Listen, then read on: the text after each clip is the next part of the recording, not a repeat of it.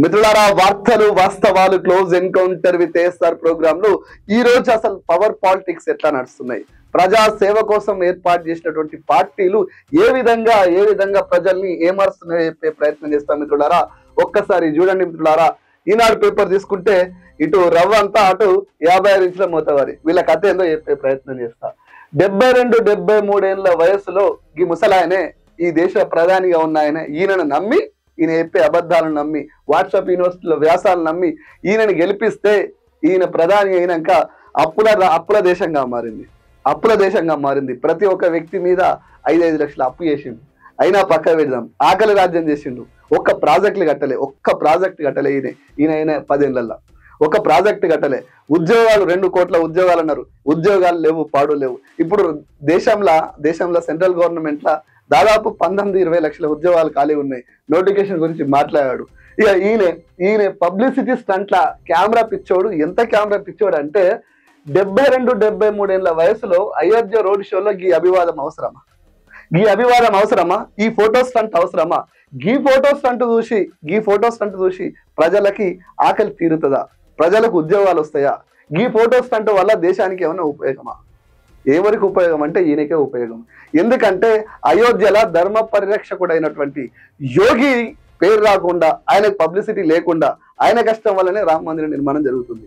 ఆయనను ఏమర్చడం కోసం ఈ డ్రామా స్టార్ట్ చేసిండు దేశ ప్రధాని. దేశ ప్రధానికి ఎట్లా ఉంటే ఎట్లా ఉంటాడు? రాష్ట్ర ప్రధాని కూడా ఎట్లా ఉంటాడు. అయ్యా ఏక్ నెంబరు? కొడుకు? దస్ నెంబరు. ఆయన ఈయన లెక్కనే ఉంటాడు. వీళ్ళిద్దరు ఒకటే భారతీయ జనతా కాంగ్రెస్ పార్టీ. ఈయన చూడండి. ఈ స్టూడెంట్స్కి ల్యాప్టాప్ ఇవ్వడం కోసం ఇగో రేవంత్ రెడ్డి ఫొటోస్ ఆయన ఒక్కని ఫొటోస్ వేసి పబ్లిసిటీ స్టంట్. వాస్తవంగా ఇది చూడండి మిత్రులారా గతంలో ఇచ్చినాం ల్యాప్టాప్ గతంలో ఇవ్వలేదా ల్యాప్టాప్ ఇచ్చినప్పుడు ఇట్లాంటి ఫోటోలు ఈ డ్రామాలు ఉన్నాయా? విద్యాశాఖ మంత్రిని పిలిచి పిల్లల ముఖంలో మా అన్నను కలిసిండని చెప్పేసి నా ఫీల్ ఆ పిల్లలకు ఉంది. ఈ పిల్లలకు చూడండి ఈ పిల్లలకు చూడండి. ఏం జరుగుతుందో ఏం కథనో ఏం జరుగుతుందో ఏం కథనో ఆగం ఆగం భయం భయం. ఇక్కడ చూడండి ఎంత ప్రశాంతమైన వాతావరణం ఎంత ప్రశాంతంగా ఎంత నీతిగా ఇగో చూడండి. ఒక మంత్రి ఈ ఒక మంత్రి ఈయన ఒక మంత్రి. ఇక్కడ ఏకలింగం శివార్పణం. ఇది పరిస్థితి ఇది పరిస్థితి. మిత్రులారా వీళ్ళంతా పబ్లిసిటీ స్టంట్ చేస్తారు పబ్లిసిటీ స్టంట్ చేస్తారు ప్రజలు ఓట్లేసి గెలిపిస్తే వీళ్ళు పబ్లిసిటీ స్టంట్ చేస్తూ ప్రజల్ని ఏమారుస్తారు ఇంకేమంటారు మిత్రులారా ఒకసారి చూడండి. ఇంటింటా రామజ్యోతి. శ్రీరామ రామ. రామేతి రామే రామే మనోరమ. సహస్రనామ తత్తుల్యం రామనామ వరాననే మిత్రులారా ఇది ఒకసారి చూడండి. ప్రతి పంచాయతీలో సర్కార్ బడి మెగా డిఎస్సికి ఏర్పాట్లు చేయండి. అధికారులకు సీఎం రేవంత్ రెడ్డి ఇవేవో నిజం అనుకొని ఆగమయ్యారు ఇవన్నీ నిజం అనుకొని ఆగమయ్యారు. ఈసారికి మోతే వారికి అంత సీన్ లేదు అంత సీన్ లేదు. ఈయన గతంలో గోడలకు సున్నాలు వేసినట్టు సున్నాలు వేసినప్పుడు ఇప్పుడు నిరుద్యోగులకి కన్నాలు వేయబోతుంది అంతే ఏముండదు. వాస్తవం ఏంటంటే ప్రతి పంచాయతీ పేరెందుకు వాడిండు ఎందుకు వాడిండు అంటే ప్రతి ఊర్లో రేపు జరగబోయే ఎంపీ ఎలక్షన్లో ఎంపీ ఎలక్షన్లో ఓట్లు రావాలని ఒక డ్రామా తెరలేపిండు. డైరెక్ట్ ఎంపీ ఎలక్షన్ల మీద దృష్టి పెడుతున్నామంటే జనం కొడతారేమన్న భయంతో ఈ డ్రామా స్టార్ట్ లేపిండు. మెగా డిఎస్సికి ఏర్పాటు చేయండి అంటే ప్రతి ఊర్లో బిఎడ్ పూర్తి చేసుకున్న వాళ్ళు చదువుకున్న వాళ్ళు తెలివైన వాళ్ళు ఏం చేస్తారంటే ఊర్లో కొంత మ్యాన్ప్లే చేస్తారు. వాళ్ళని ఏమార్చడానికి మీకు మెగా డిఎస్సీ అని చెప్పేసి ఒక డ్రామా తెలియపిండు వాస్తవంగా ఎంపీ ఎలక్షన్స్ అయిపోగానే ఏం చేస్తాడు తెలుసా? ఊరూర్లో ఒక్క టీచర్కి ఎనిమిది మంది విద్యార్థులు ఉన్నారు. మేమేం చేస్తాం? రూల్ ప్రకారం కనీసం ముప్పై అన్న ఉండాలి కదా అని చేతులు ఎత్తేస్తారు. ఇది ఒక డ్రామా స్టంట్. ఇంకో డ్రామా చూడండి మిత్రులారా ఇది డ్రామా అన్నా ఇంకా నాకు ఇది వింటే ఆక్రోషం వస్తుంది. పవర్ సెక్టర్ను ముంచేసిరని చెప్పేసి పీకల్లోపు లోతు అప్పులు అని చెప్పేసి మునుగోరులోని భద్రాది పవర్ ప్లాంట్ సందర్శన పోయినప్పుడు బట్టి విక్రమార్క ఆయనకి నియతలేని మాటలు మాట్లాడుతుండు. ఈ రాష్ట్రం వెలుగు జిలుగుల తెలంగాణగా ఉండాలని కేసీఆర్ ఇరవై వేల పైచీలకు కోట్లు ఖర్చు పెట్టి రేపటి భవిష్యత్తు కోసం భావి తరాల కోసం కరెంటును ప్రోడక్ట్ చేస్తే ఒక కంపెనీ ఏర్పాటు చేస్తే ఆడికి పోయి అప్పులని చెప్పిండు. తెలంగాణ సమాజానికి కంపెనీలకు వ్యవసాయానికి ప్రతిదానికి కరెంట్ ఇస్తే తప్పట అప్పట కానీ ఉచితంగా బస్సులు ఇస్తే దానికి రాయితీలు ఇచ్చి దానికి డబ్బులు కడితే మాత్రం అది అప్పు కాదట.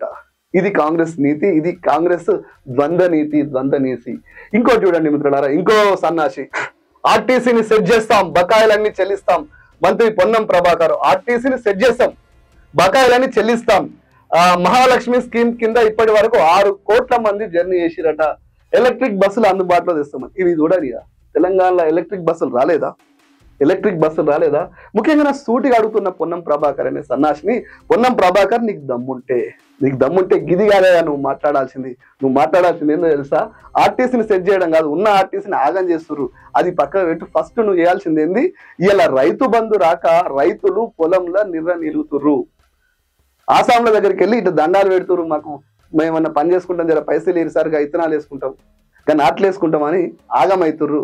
నీకు శాతం అయితే ఫస్ట్ రైతులకు రైతు బంది అన్నం పెట్టే వాళ్ళని ఆదుకో ఉచితంగా బస్సులో తిరిగే వాళ్ళకి తర్వాత పైసలు నేనేం వద్దంటలేను కానీ ఉచితంగా మహిళల్ని తింపు నేనేమన్నా వాళ్ళకు కూడా డబ్బులు కట్టు. కానీ ముందు నువ్వేం చేయాలి?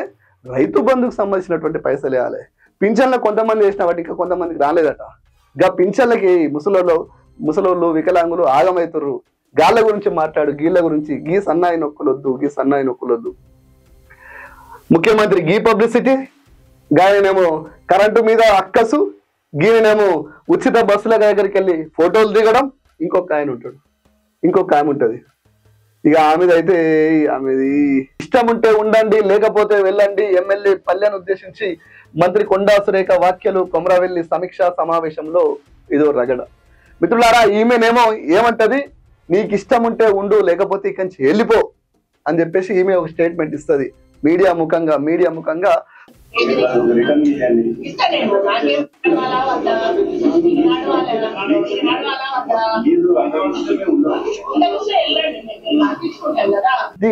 బాధ్యతాయుతంగా పనిచేయండి. ఆయన ఎల్లైనో మళ్ళేనో నీ కార్ డ్రైవర్ కాదమ్మా నీ కార్ డ్రైవర్ కాదు. ఆయన ఎవరో తెలుసా? జనగామ ప్రజలు ఓట్లేసి గెలిపించిన శాసనసభ సభ్యుడు. ఆయనను పట్టుకొని మీడియా ముఖంగా నీ ఇష్టం వచ్చినట్టు మాట్లాడితే కుదరదు. నీకు నిజంగా గన్ని రైట్స్ ఉంటే గంత బాధ్యత ఉంటే దానికి ఆన్సర్ చెప్పమ్మా. నువ్వు చెప్తావా? మా కొండ ముర్లానే చెప్తావా ఫస్ట్ గానికి చెప్పురి నీ సొంత జిల్లా నీ సొంత జిల్లాల ఎంజిఎం ఎమర్జెన్సీ వార్డులో పేషెంట్. ఎంజిఎంలో కరెంటు లేక పేషెంట్లు అవస్థలు. రాత్రిపూట ఎమర్జెన్సీ వార్డులో కమ్ముకున్న చీకట్లు. బెడ్ మీద రోగుల ఇబ్బందులు ఆ, ఇంటోల్లో ఏడుపులు వెంటిలేటర్ ఆగిపోయి ప్రాణం వదిలిన భిక్షపతి. రెండు గంటల తర్వాత కరెంటు పునరుద్ధరణ. నీకు శాతం అయితే గిది కదమ్మా నువ్వు మాట్లాడేది? నీకు మంత్రితనం ఇచ్చి నీ జిల్లాను బాగు చేయమంటే కొమరెల్లి మల్లన్న దగ్గరికి వచ్చి ఇష్టం వచ్చినట్టు మాట్లాడు కాదు తల్లి మాట్లాడు కాదు. ఓ మునురు కాపాయని పెళ్ళి చేసుకున్నావు నువ్వు. ఎంత గొప్పగా ఉండాలి. అది వదిలేసి నేను ఏదో అది చేస్తా ఇది చేస్తా అని బెదిరియద్దమ్మా మంత్రిగా ఉన్నావు మహిళవు మా అందరికి గౌరవం కొండముళ్ళు అని అంటే మాకు దగ్గర. నువ్వు ఇష్టారీతిగా మాట్లాడుతా అంటే గై ఇక ఆమె అట్లా ఉంటే ఇక వీళ్ళది పరిస్థితి. రేవంత్ రెడ్డి ఏమో పబ్లిసిటీ స్టంట్. ప్రతి పంచాయతీలో సర్కార్ బడి అని మెగా డిఎస్సికి ఏర్పాటు చేయండి అని చెప్పేసి ఓ అబద్ధం స్టేట్మెంట్ ఎంపీ ఎలక్షన్ స్టంట్. ఈయనేమో కేసీఆర్ అంతా కష్టపడి ఇరవై వేల కోట్ల రూపాయలు పెట్టి తెలంగాణ వెలుగు జిలగల తెలంగాణ కావాలని కష్టపడతా అంటే ఆయన మీద అక్కసు. ఈయననేమో రైతులను ఆదుకుంటామని చెప్పాల్సినటువంటి స్టేట్మెంట్ ఇవ్వాల్సినటువంటి ఈ సన్నాసి ఆర్టీసీలు మంచిగా సరదాగా అవుతున్న మహిళలు సరదాగా అవుతున్న ఆర్టీసీల దగ్గరికి వెళ్ళి ఓ రిబ్బన్ ఇట్లూపి మేము ఆర్టీసీ సెట్ చేస్తామని చెప్పారు. ఈయనకి శాతం అయితే రైతుల గురించి మాట్లాడాలి. అది వదిలేసి ఇదో పబ్లిసిటీ స్టంటు. ఆమెనేమో అధికార దర్పం అహంకారం ఇంకే ఇంకోటి ఇంకోటి. వీళ్ళు ఈ రాష్ట్రాన్ని పాలిస్తుంటారు ఈ రాష్ట్రాన్ని ఏళ్తుంటారు ఈ రాష్ట్రాన్ని అభివృద్ధి చేస్తా అంటారు. ఆ? ఇంకేంది? ఆ ఉద్యోగం వద్దు వేదా సెంటర్కి సాయం చేయండి.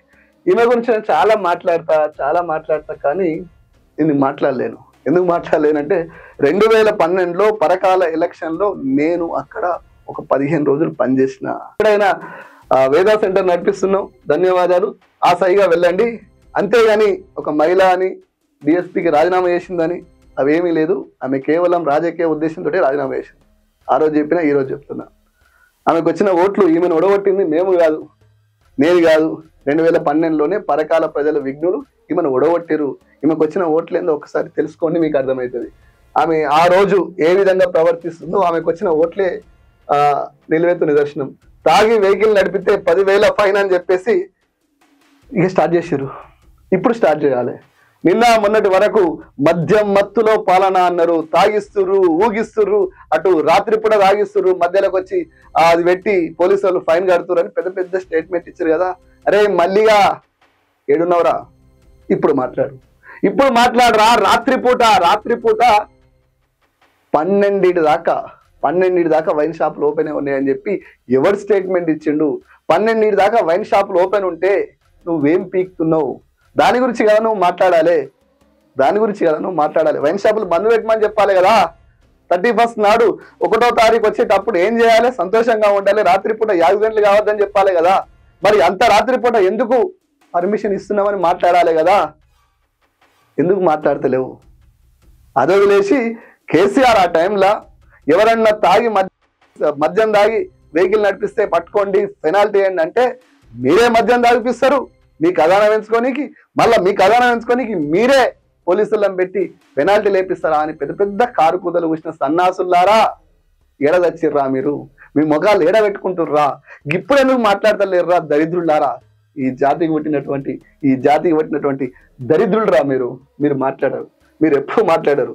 మీరు ఒకని పార్టీ ఒకరిని లేపడం కోసం కదరా? ఒక ప్రభుత్వం మీద బురద వెళ్ళడం కోసం కదరా మీ పని? ఇగో మళ్ళీ ఇంకో పబ్లిసిటీ స్టంట్ మర్చిపోయిన మిత్రులారా అంబులెన్స్కు దారిచ్చిన సీఎం కాన్వాయ్. గతంలో సీఎం ఏమన్నాడు? నేను ఇంటి ఇండివిజువల్ గానే పోతా అన్నాడు. పదుల సంఖ్యలో పదుల సంఖ్యలో ఈ వి అని పోతుంటే ఎక్కడో వెనక ఉన్న అంబులెన్స్ సౌండ్ వినొచ్చిందట. ఈ పోలీసులంతా సామ్ కూస్తుంటే వాళ్ళకి మానవత్వం లేకపోతే రేవంత్ రెడ్డికి మానవత్వం పరిమళించి అయ్యో ఫస్ట్ అంబులెన్స్ పంపిరా అని చెప్పిండట ఎప్పటి నీకన్నా సిగ్గుండాలి పిఆర్ఓలకి. ఇవన్నీ పిఆర్ఓల స్టంట్లు. పిఆర్ఓలు మీరు పబ్లిక్ స్టంట్ చేయడానికి లేరయ్యా బాబు. ప్రజలకు సేవ్ చేయడానికి మంచి అడ్వైజ్ చేయడానికి ఉండాలి. జీతం తీసుకుంటారు ఈ స్టంట్లు బంద్ చేయరు ఈ స్టంట్లు బంద్ చేయరు ఫస్ట్ కరెంట్ కష్టాలు లేకుండా చేసినాం ఇవి ఎవరికి అర్థం కావాలి? ఎవరికి అర్థం కావాలి జగదీష్ అన్న? జగదీష్ అన్న ముందు మీ జిల్లాల మీ జిల్లాల ఆ సురేష్ యాదవ్ మీద సురేష్ యాదవ్ మీద సురేష్ యాదవ్ మీద కేసు అయింది పైపెచ్చు. ఏంది అసలు ఏం జరుగుతుంది? ఇంటికి వెళ్ళి అఫెన్స్ జరిగింది ఎప్పుడు? ఎవరు వై కావాలని కొట్టింది ఎవరు? మళ్ళీ కేసు ఎవరు పెడుతురు? తెలవాలి కదా? ఒక్కసారి ఆలోచించండి మిత్రులారా ఒక్కసారి ఆలోచించండి. మిత్రులారా మనం నిన్నాక మొన్న మనం మాట్లాడుకున్నాం. ఉం? నిన్నాక మనం మాట్లాడుకున్నాం? దాని మీద మనం గట్టిగా వాయిస్ ఇచ్చినాం. సురేష్? నమస్తే సురేష్. సురేష్ ఏం జరుగుతుంది? ఏం జరిగింది నిన్న? కేసు ఏమైంది? ఎటు వచ్చింది కేసు? నా మీద అట్రాసిటీ కేసు? నా మీద చేసిరని తెలిసింది. మిత్రులారా ఒకసారి చూడండి. మనమే ఈ వీడియో చేసినాము ఈ వీడియో చేసినాము ఈ సురేష్ యాదవ్ అనే తమ్ముని మీద దాడి జరిగితే ఆయన ఇంటికి వెళ్ళి ఒక రోజు ముందు నుంచే కావాలనే కావాలనే కక్షతోటి అక్కసుతోటి కేవలం టిఆర్ఎస్ పార్టీకి సంబంధించినటువంటి వీడియోలు చేస్తుండు. ఆ, రేవంత్ రెడ్డిని ఆయన ఇచ్చినటువంటి హామీల మీద ప్రశ్నిస్తుండన్న కోపంతో అక్కసుతోటి ఆయన మీద ఆయన మీద కొంతమంది దాడి చేసిర్రు. ఎంత దాడి చేసిర్రు అంటే కట్టలు పట్టుకొని బీర్ సీసాలు పట్టుకొని ఆయన ఇంటి మీదకి వచ్చి ఆయన ఆయన భార్య భార్యమ్మని మీద కొట్టిరు బాగా దాడి చేసిర్రు. ఆ దాడి చేసినాక జగదీష్ అన్న కూడా వచ్చిండు? మరి జగదీష్ అన్న నీ సొంత జిల్లాల తప్పుడు కేసులు అవుతున్నాయి అక్రమ కేసులు అవుతున్నాయి కాంగ్రెస్ లీడర్లు పోలీస్ స్టేషన్లలో కూర్చొని కేసులు పెట్టిస్తుర్రు.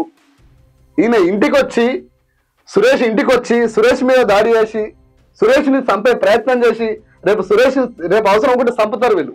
అంత అక్కస్తోటి ఆ చేతిలో ఉన్న కట్టె ఎరిగేటట్టు కొట్టి మహిళ చూడకుండా కొట్టి మహిళ మీద దాడి చేసి బీర్సీసలతో కొట్టి అంటే బీసీలు దెబ్బలు వాడన్నా యాదవ్ బిడ్డ మీద దాడి జరిగితే ఒక్క యాదవ్ ఎందుకు స్పందించలే? ఈయన ఏం తప్పు చేసిండు? అంతా కూడా ఉన్మాద. కిరాత కూడా రేపులు చేసిండా మర్డర్లు చేసిండా? ఈయన వేస్తుంది ఏంది? ఎందుకు ఈయన మీద ఇంత అక్కసు?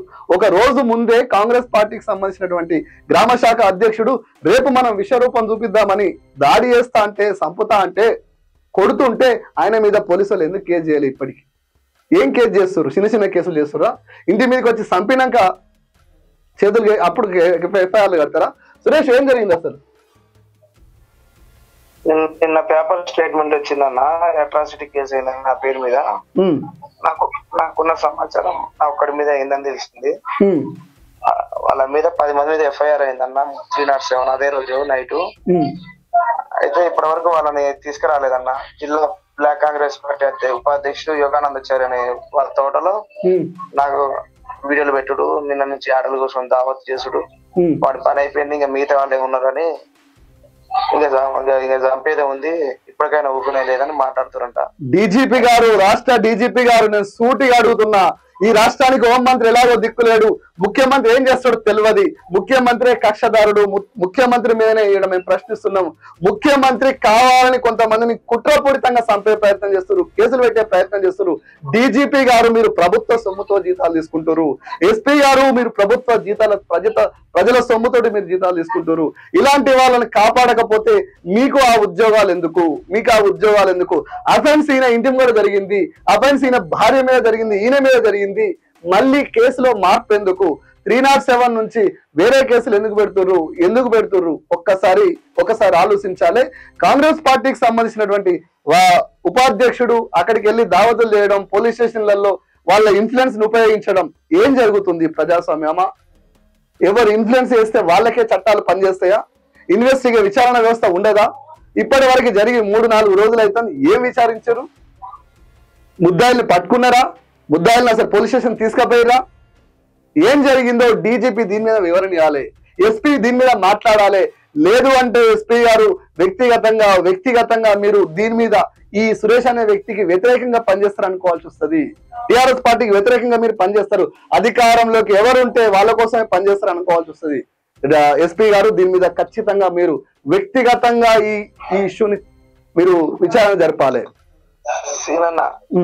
అన్న ఇక్కడ కాంగ్రెస్ నిన్న ఇసుక దిగు తట్టడి మట్టి తీయమని చెప్పి ఏదో చెప్పిన స్థానిక ఎమ్మెల్యే మందులు సార్ గారు ఉమ్, మట్టి ఏమని ఇసుక దిగుని తట్టడి మట్టి తీయమని చెప్తున్నా ప్రాణాలు తీయమని చెప్తుంది ఇప్పుడు. ఇక్కడ ఉన్న ప్రెజర్ ఎస్ఎల్కి కానిస్టేబుల్ జరుగుతున్న సమాచారం అక్కడ ఉన్న లోకల్ వాళ్ళు మనకి చెప్పిన సమాచారం ఏంటంటే వాళ్ళ మీద గుడ్డలు ఘాట్లున్నాయా ఉమ్, ఆ కత్తి ఘాట్లున్నాయా నెత్తురు గారిందా?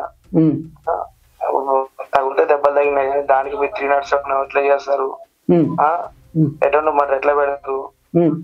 త్రీ ట్వంటీ ఫోర్గా మా విధానం ఉంది. ఒక పనికి మాల ఏది చిన్న చిన్న చేద్దామని చూస్తారు. ఒక మాట ఏంటంటే ఈ కేసు కాకపోయినా నన్ను చంపుతారు అన్న వాళ్ళు ఎందుకంటే భయం ప్రజాస్వామ్యం న్యాయ న్యాయ వ్యవస్థ మీద నమ్మకం ఉంది. నా మీద అట్రాసిటీ కేసు నాకు న్యాయం జరుగుతుంది. ఎప్పటికైనా నమ్మకంతో నేను ఇప్పటిదాకా బయటకు ఎవరికి చెప్పలేదు. కానీ ఈ త్రీ నాట్ సెవెన్ పెట్టి ఇప్పటికీ ఇప్పుడు ఇప్పుడు మూడు రోజులు అవుతుందన్న. మూడు రోజుల నుంచి కూడా కనీసం కనీసం కనీసం వాళ్ళని ఇంతవరకు తీ- తీసుకురాలేదు. దావతల పేరు మీద మనం మా బుజ్జి ఆ మిస్సెస్ నాన్న చెప్పుకొని చెప్పు చెప్పుకోని ప్లేస్లలో ఒక మహిళ చెప్పుకోలేదన్న చెప్పు చెప్పుకోని ప్లేస్లో ఒక మహిళ ఎక్కడ ఎక్కడ చెప్పుకోలేని ప్లేస్లో ఒకటికి పది సార్లు ఎంక్వైరీ చేయడం ఏదో మేము మర్డర్ చేసిన లేక మా చుట్టూ తిరగడం మీకు రాజకీయాలు ఎందుకు మీకు వ్యవసాయం ఎందుకు మీరు మీ వ్యవసాయం మీరు చేసుకోలేని మమ్మల్ని ప్రశ్నించొద్దని చెప్పడం మేము పుట్టిన చచ్చిపోయినా మేము మాట్లాడి మాట్లాడుతామన్నా ముందని చెప్తున్నా మా మీదే ఎటువంటి ఓటు నోటు దొంగ కేసులు లేవు. ఎమ్మెల్యే కొనుగోలు చేసే లేవు. మేము యాభై కోట్లు ఇచ్చి అవి పదవులు కొనుక్కునే లేవు. రాష్ట్ర ముఖ్యమంత్రి ప్రజా ప్రజా ఇలా పరిపాలన సూటిగా అడుగుతున్నాం సూటిగా అడుగుతున్నాం సూటిగా అడుగుతున్నాం. ఇలా ఈ బిడ్డను కొట్టిర్రు ఈయన భార్యను కొట్టిర్రు ఈయన చంపే ప్రయత్నం చేసిర్రు. ఉందన్నా ఒక్కసారి మాట్లాడండి. జనమంతా దండం పెడుతున్నాం మీకు కాలు మొక్కుతున్నాం. మాకు న్యాయం జరగకపోతే ఈ రాష్ట్రంలో ఎవరికి న్యాయం జరగదు. మా ఇంటి మీదకి వచ్చి మమ్మల్ని కొట్టి ఎలక్ట్రాసిటీ కేసు పెట్టి మమ్మల్ని హింసిస్తారు ఇప్పుడు మేము హాస్పిటల్ ట్రీట్మెంట్ తీసుకునే పరిస్థితి ఉంది. మమ్మల్ని మీరు ఎప్పుడు వెళ్ళిపోతారు అని ప్రెజర్ పెడుతుర్రు. దెబ్బలు ఉన్నాయన్న అన్ని ఉన్నాయి మేము కూడా దేనికైనా సిద్ధపడే ఉన్నాం. మా ప్రాణం పోయినా మాకు న్యాయం కావాలా? ఒక్కసారి మీ భార్యకి సురేష్. మాట్లాడినా హలో అన్న అమ్మ చెప్పమ్మ ఏం జరిగింది? ఈ మాట ఈ మాట నిజంగా ప్రజల సొమ్ముతోటి జీతం తీసుకున్నామని ఫీల్ అయితే ఎస్ఐ గారు ఇంటారు సిఐ గారు ఇంటారు ఎస్పీ గారు ఇంటారు తెలంగాణ సమాజం ఇంటది. ఏం జరిగింది తల్లి అసలు? తోటలో ఉంటా అన్నా అమ్మా? నేను తోటలో ఉంటా అన్నా అమ్మా? నేను మా ఆయన ఉన్నాను అమ్మా? వచ్చి మాట్లాడతాం అన్నారు ఒకడు ఒక ఆయన వచ్చేసుకున్నాం పది మంది వచ్చేస్తారు. వచ్చి కట్టెతోటి సీసాలు తోటి దాడి చేసేసి సంపకలం చేసేస్తారు సంపదమ్మని చూసినాక కూడా వాళ్ళ మీద చిన్న చిన్న కేసులు పెట్టాలన్నా. అఫెన్స్ వాళ్ళ ఇంటికి వచ్చి ఈ అమ్మాయి వాళ్ళ ఇంటికి వచ్చి అమ్మాయి మీద మీ మీద దాడి జరిగిందా తల్లి? దాడి జరిగిందన్న. ఎవరు చేసేది తల్లి? మా ఊరిలో అన్న. ఏం పేరు తల్లి? కాంగ్రెస్ కార్యకర్తలన్న. వాళ్ళ పేర్లు ఏం పేర్లు? వాళ్ళ పేర్లు కొట్టిన వాళ్ళు ఎవరు నిన్ను? పేర్లు అన్న. బొల్ల. స్వామి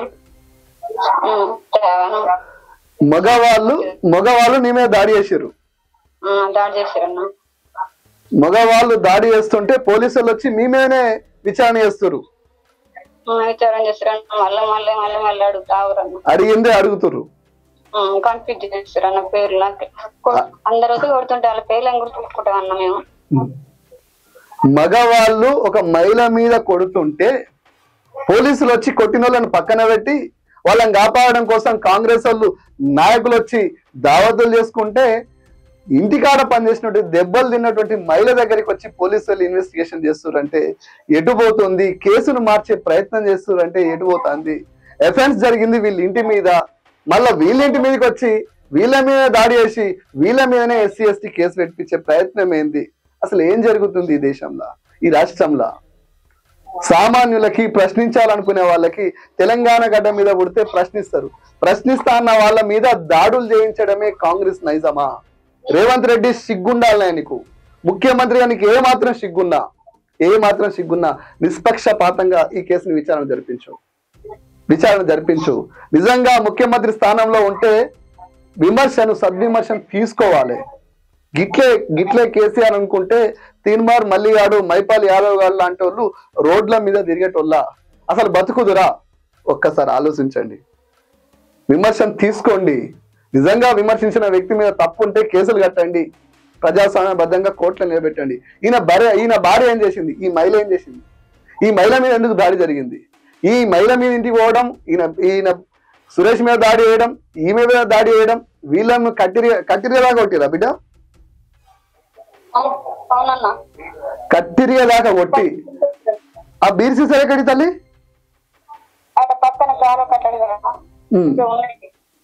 అంటే బీ- బీర్ సీసాతో పొడవాలని చూసినా కేసు కాదు. కత్తిరిగా దాకా కొట్టినా కేసు కాదు. మహిళ మీద దాడి చేసినా కేసు కాదు. సురేష్ని చంపే ప్రయత్నం చేసినా కేసు కాదు. అంటే తెలంగాణలో కాంగ్రెస్ హయాంలో టిఆర్ఎస్ పార్టీ కార్యకర్తలు చంపినా కూడా ఈ ఈ ప్రభుత్వంలో కేసులు కట్టరా? నేను సూటిగా అడుగుతా ఉన్నా తల్లి ఇవాళ రేపు కేసులు కట్టకపోతే నేనే నేనే మీ ఊరికి వస్తా ఆన్నే లైవ్ పెడదాం ఆన్నే అక్కడనే మనం మాట్లాడదాం బిడ్డ. మీరేం బాధపడకండి మీరేం అధైర్యపడకండి. ఖచ్చితంగా తెలంగాణ సమాజం మీ పక్షాన ఉంటుంది. తెలంగాణ సమాజం అనేది చాలా చైతన్యవంతం ఉన్న నేల బిడ్డ. నీకోసం నీకోసం ఖచ్చితంగా తెలంగాణ సమాజం చూస్తుంది సాయం చేస్తుంది. ఈ రెండు మూడు రోజులల్లో సరే కరెక్ట్గా విచారణ జరిపి కేసులు కట్టకపోతే ఖచ్చితంగా నేను అడిగి వస్తా. ఆడ నిలబడతా. ఆ సంపుడు ఏదో నన్ను కూడా చంపండి నా మీద కూడా కేసీ ఎస్టీ కేసులు పెట్టండి. రాష్ట్ర వర్కింగ్ ప్రెసిడెంట్ కేటీఆర్ గారు కూడా ట్వీట్ చేసిరన్న డీజీపీ గారికి కనీసం డీజీపీ గారు ఇప్పటికైనా స్పందించి మాకు న్యాయం చేయాలా? ఇంకా ఇంకా లేట్ చేసి ఇవాళ రేపు రెండు రోజులు సెలవులు ఉన్నాయన్న ఎల్లుండి ఛార్జ్ షీట్ చేసి మా మీద ఉన్న case three three three not seven three twenty four చేద్దామని చూస్తుందని తెలిసిందన్న. నేను మంచిగా చేసిన కాబట్టి నాకు చెప్తున్నాను. దయచేసి మీరు దాన్ని చేయకపోతే మేము బతికినా చచ్చిన ఒకటే అన్న. ఎందుకంటే మాకు ఇంతగానో ఇంటి మీద పడి దాడి చేసి మా ఇంటి మీద కొట్టినా కూడా లాస్ట్కి మా మీద వాళ్ళ మీద కేసు కాకుండా మా మీద కేసు అయితే మేము బతికితే ఏందన్నా ఈ ప్రజాస్వామ్యంలో చచ్చిపోతే. వింటురా డీజీపీ గారు వింటురా ఎస్ఐ గారు వింటురా సిఐ గారు వింటురా ఎస్పీ గారు ఒక్కసారి ఆలోచించండి ఒక్కసారి ఆలోచించండి. విచారణ విచారణ విచారణ మీద దృష్టి పెట్టండి. ప్రజల ఎఫర్ట్ న్యాయమే ఫైనల్ కాబట్టి ప్రజల పక్షాన్ని నిలబడండి. అధికారులకు ప్రోటోకాల్ పాటించారు అధికారులు ప్రోటోకాల్ పాటించరా? నాకు చెప్పకుండా కళ్యాణ లక్ష్మి చెక్కులు ఎట్లా ఇస్తారు కౌశిక్ రెడ్డి. కౌశిక్ భాయ్ ఏం లేదు సింపుల్ ముచ్చట.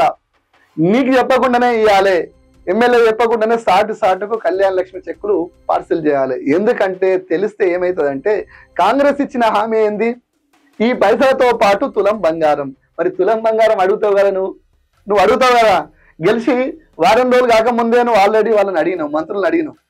మళ్ళీ అడుగుతామన్న భయంతో భయంతో దెబ్బకి రాత్రి రాత్రి సాట సాటకు కళ్యాణ్ లక్ష్మి చెక్కులు ఆల్రెడీ ఇంటికి పంపించేసారు పంపుతారు. గది అసలు వాళ్ళ భయం. అదో వదిలేసి ఆ